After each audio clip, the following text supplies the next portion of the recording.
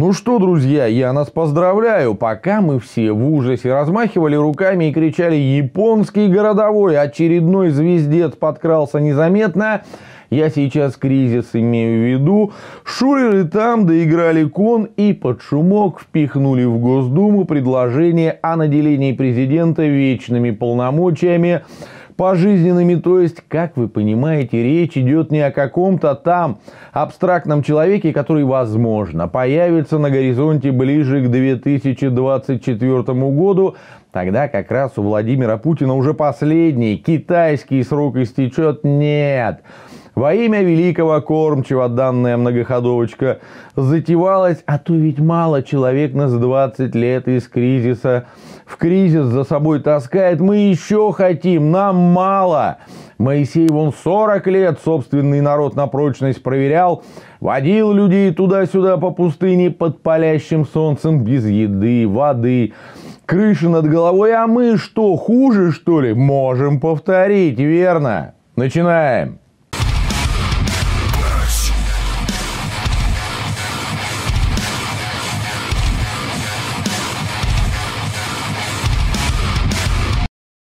Вообще, еще некоторое время назад я думал, что уже перестал удивляться, но тут, блин, в стране кризис. Нефть в цене обрушилась на треть. Рынок ценных бумаг просел, рубль грохнулся. Кажется, что все самое плохое, что могло с Россией случиться, случилось, причем за один день. Но представителям власти это вообще не интересно. Они в это время активно обсуждают, как бы так поменять правила игры, пока холопы отвлеклись, да чтоб с максимальной выгодой для себя любимых и еще раз для тех, кто на бронепоезде, российская экономика катится в пропасть. Мы на пороге больших неприятностей, а что в парламенте? Нет, там не антикризисный план набрасывают, там соображают, как бы увековечить трон для вождя все эти полтора месяца было много встреч с избирателями. И практически везде они говорили о будущем. О том, кто возьмет на себя ответственность за страну. Вы можете себе представить, чтобы в 2008 году, когда в США разразился ипотечный кризис, когда обрушился один из крупнейших банков мира, я сейчас Lehman Brothers имею в виду, Вся штатовская верхушка во главе с Бараком Обамой села втихаря Конституцию переписывать. Ой, да что там подумаешь, посыпалась американская экономика, господи, Великую депрессию пережили. И в этот раз куда-нибудь кривая американской мечты да вынесет, у нас более важные дела имеются. Памятная дата, например, 70-летие окончания войны между Севером и Югом – Бараку Ивановичу вон хотим памятник поставить в центре Нью-Йорка. Почему? Ну, потому что он прикольный. Ему на днях какая-то девушка из Миннесоты предложила взять ее в жены. Но если серьезно, я не знаю, как еще можно расценить вот такие действия, а вернее абсолютное бездействие со стороны российских властей в тяжелой для страны ситуации – только как плевок в лицо всем нам, не иначе, или как предательство – может, у вас какие-то варианты есть. Прикинь, с твоей мамой или женой, или с ребенком что-то случилось, им помощь твоя нужна, а ты, да блин, тут футбик сейчас по телеку начинается, Спартак с ЦСКА играют. Некогда мне звоните в полицию. Граждане объединились, и мы это видим. Надо сказать спасибо за, этим, за это нашим гражданам. Они объединились вокруг патриотических ценностей не потому, что всем довольны, что все их устраивает. Слушайте, нас с завидным постоянством призывают объединяться вокруг каких-то проблем, что никак не закончатся, к слову. Мол, вместе мы их преодолеем. Пожалуйста, вам. Картина маслом. Конкретная проблема, она уже случилась. Чего же вы с нами-то не объединяетесь? Мы тут всей страной думаем, как жить дальше, а вы в это время свои шкурные интересы решаете. Ай, молодцы! Или сохранение трона за отдельно взятым человеком гораздо более важная история, чем будущее 140 миллионов россиян и целой страны. Ой, так до меня дошло. Выше своих задницах печетесь, господа депутаты и чиновники, чтобы ваши попки в тепле оставались, чтобы ваши детки по заграницам могли разъезжать и ни в чем там не нуждаться. Да вы и на царя-то своего чихать хотели и первыми его сольете, как только хвост прищемят. Есть два типа подлецов. По принуждению и по призванию. Хотя и те, и другие омерзительные. Это реальная журналистика. Не будьте лохами, вас разводят. Поехали! Еще одно доказательство, подтверждающее сказанное мною выше. Там же, в парламенте, в тот же день, во вторник, на рассмотрение внесли еще один законопроект, точнее поправку в Конституцию, которая позволит досрочно распустить Госдуму седьмого созыва и провести выборы уже будущей осенью, а не через полтора года, как должно было произойти. Вы, вероятно, не понимаете, да, зачем нужна сия спешка, к тому же в данном случае приходится городить такие вот непонятные городки, поправку какую-то вносить, да не куда-нибудь, а в Конституцию. А все просто на самом деле. Это ведь мы с вами думаем, что спешка важна, важна только в двух случаях.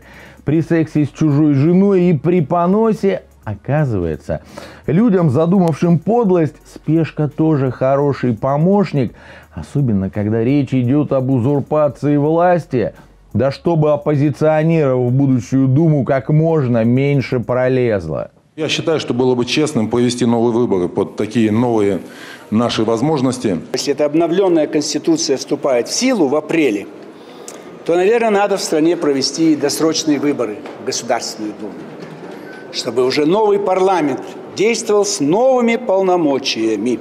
Врут-то они красиво, согласен и даже где-то убедительно. Ну да мы отвлеклись от главного, о чем мы об оппозиции. А дело в том, что полгода для нормального выстраивания грамотной избирательной кампании слишком маленький разбег. Для начала нужно определиться с именами людей, которых оппозиционеры поведут на выборы. Ну, это как раз не самое сложное. Затем найти финансирование, причем, поверьте, не 3,50, Компании обычно рассчитываются, исходя из цифры в 2-4 доллара на избирателя. 100 тысяч голосов нужно, вот 300 тысяч баксов готовь, а лучше 500. Кто сегодня может себе позволить найти такие деньги? Вот так вот, на раз-два, по щелчку пальца. Именно, только деятели, паразитирующие за счет госбюджета, как раз Единая Россия, ЛДПР, да и потом что-то мне подсказывает, что Памфилова не станет особенно скрупулезно изучать бухгалтерию Яровой или Карелина с Жириновским. Разумеется, они ж не Навальный. Я вообще-то в советские времена 12 лет отпахал на производстве, а вы пока я не видела, что вы вообще зарабатывали кроме тем, что собираете деньги незаконным образом и оболваниваете несчастную молодежь. Ну ладно, не будем забывать о том, как у неугодных кандидатов выбраковываются подписные листы до кучи. Этот лист мы не принимаем. Почему? Да потому что я так решила. То есть подписей нужно собрать как минимум в два раза больше, чем требуется. То есть это еще время. Впрочем, он и тоже не панацея. Тот режим, который установил Путин, он антинародный он страшный.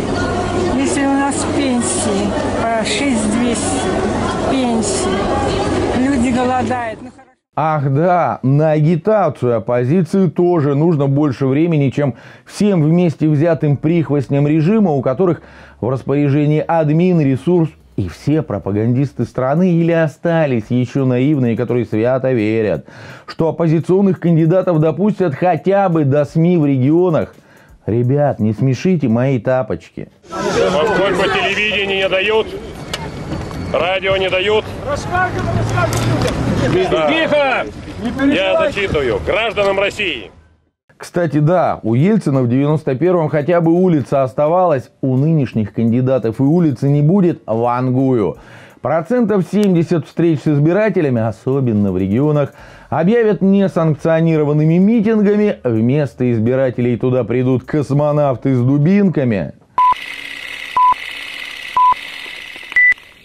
Ну и плюс настроение в обществе. Не созрели еще наши соотечественники.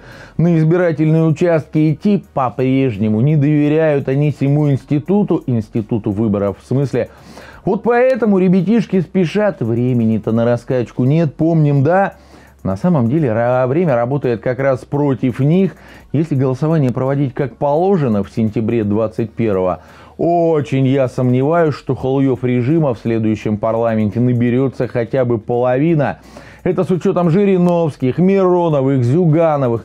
А так, пока народ дезинформирован, пока не врубился, что происходит, можно и на ВВП корону напинтерить, правильным вассалам дворянские титулы раздать, неприкосновенность там и так далее. А дальше? А дальше трава не расти, потому что, может, к 1936 году уж и страны-то не будет. Все, это была реальная журналистика. Думайте. Ссылка на YouTube страничку сверху, в соцсетях тоже жду. В друзья добавляйтесь, темы предлагайте, поднимем и обсудим. А я за сим спешу откланяться пока. Пока!